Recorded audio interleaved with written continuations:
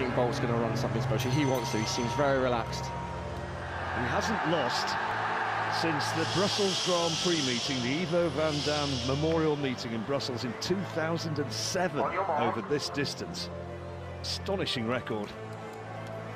Walter Dix outside him for the United States.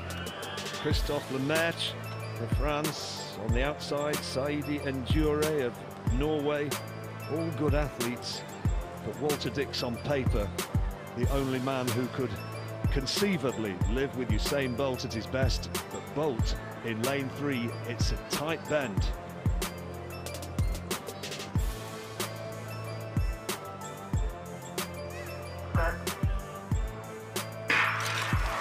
Who runs the best bend? And Bolt has gone well out of the blocks and he's already closing down Dix on the outside.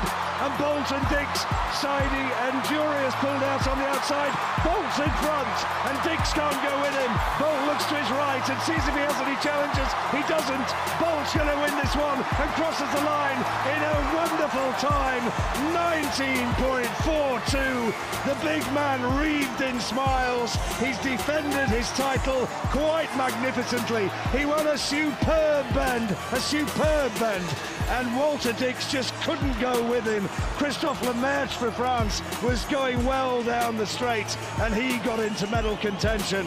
But Usain Bolt, such a good start, such a good corner, such a good straight, and what a time, 19.4, and he is the world champion once more.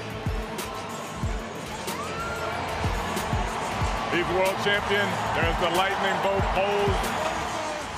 I'm an icon, man. And my girl about a 10. I should fuck her in a